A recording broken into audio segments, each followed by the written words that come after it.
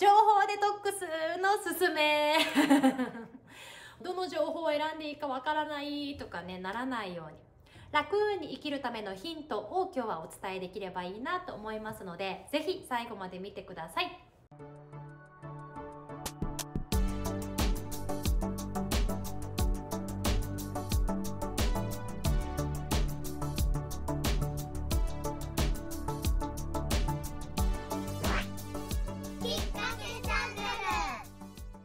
皆さんこんにちは。物選びと暮らしのマニアハイパー主婦梅野あゆみです。えこのチャンネルではワクワクな毎日を手に入れるためのヒントになればいいなと思って物の選び方暮らし方とか子育てとかあとはなんか生き方の考え方とかなんかいろいろ話してますのでぜひチャンネル登録してください。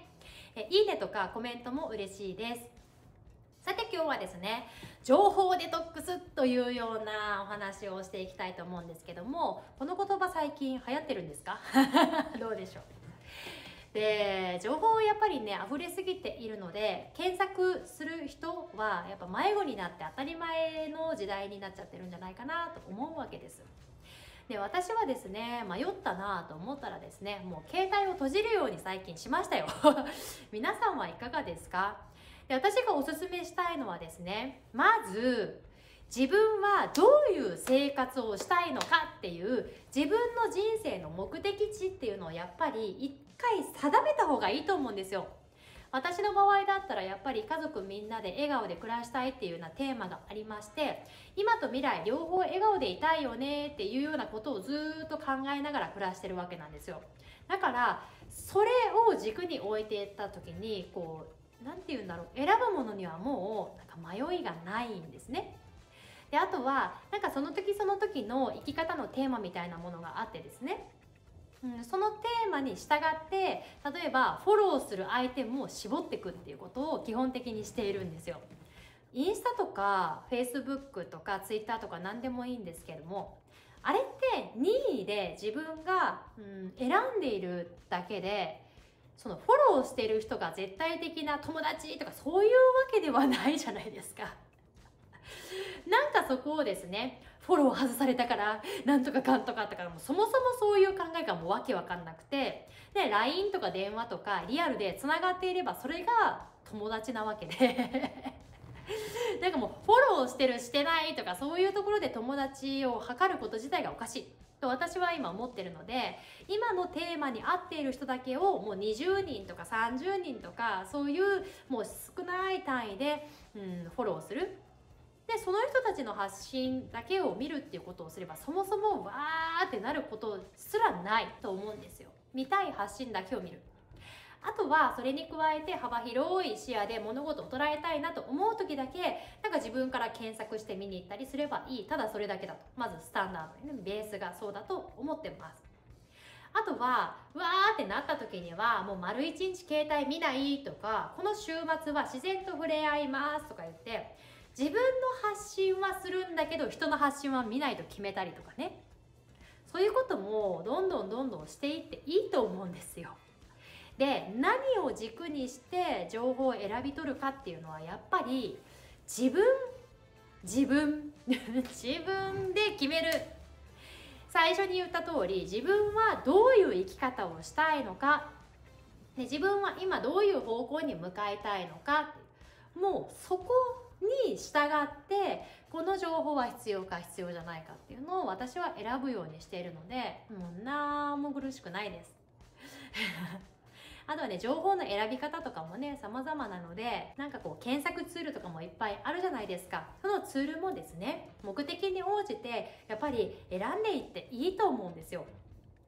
で情報の選び取り方がわからないっていう人がいるけれどもすごい偏った検索ツールとかがあるのも事実だと思うので検索ツールについてもちょっと考えてみるだったりとかで情報の選ぶ視点っていうのもなんかねこう広い視野で見てみるとかしていくとすっきりすると思うし。情報デトックスってなんかわざわざ今日は言いましたけれどもね、情報を得ない時期を自分の中で得ない期間をっていうかね自分の中で決めて自分の体がどう感じるかっていう自分自身に矢印を向けて自分で感じるっていう期間もやっぱり絶対的に必要だと思うのでそれやってほしいなと思います。でね私の個人的なね話をもうここ数日の話をしてみるとまあ久しぶりにあの1泊2日で大自然の中に行ったわけですよ。でそこはもう電波もほぼほぼ通じないみたいなところだったので発信するのがいっぱいいっぱいで人の情報を見るなんてもう全くできなかったんですね。でそんな期間過ごしていたら今までずっとモヤモヤモヤってしてひらめかなかったようなこともバンバンバンバンやっぱりひらめいたわけです でやっぱねそういうもんだと思ってて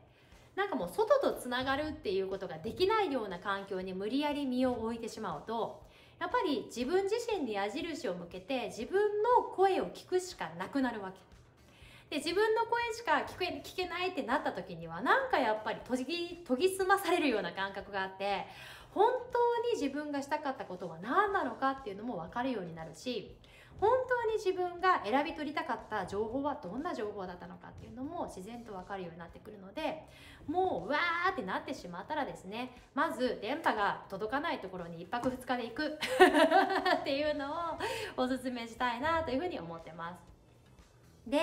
まあ、ちょっとこの話の流れでお話をするとあの情報のね選び取り方っていうのもやっぱり見ていく必要があると思っていて私だけでは伝えられないことっていうのもありますのであの私ね子育てお悩み相談室ポカポカっていうオンラインクラスをずっとあの一番下の子が生まれた後からやってきたんですけども一旦2021年の8月で締めようと思うんですね。でもただただパって締めてしまったらきっと子育て中のお母さんたちが情報選びに迷子になってしまうんじゃなかろうかと思ったので8月ラストのテーマを情報の選び取り方みたいなテーマにしてですねで私がとても信頼している講師の方々に来ていただいてでそこでさまざまな視点で情報の選び方について私の視点も含めてお話をまたしていこうと思うのでそこでねなんかあこんな考え方あるんだとか結局これでいいんだみたいなヒントになるといいと思っているので。ぜひ8月のぽかぽか締めでですね皆さん参加してほしいなというふうに思っております。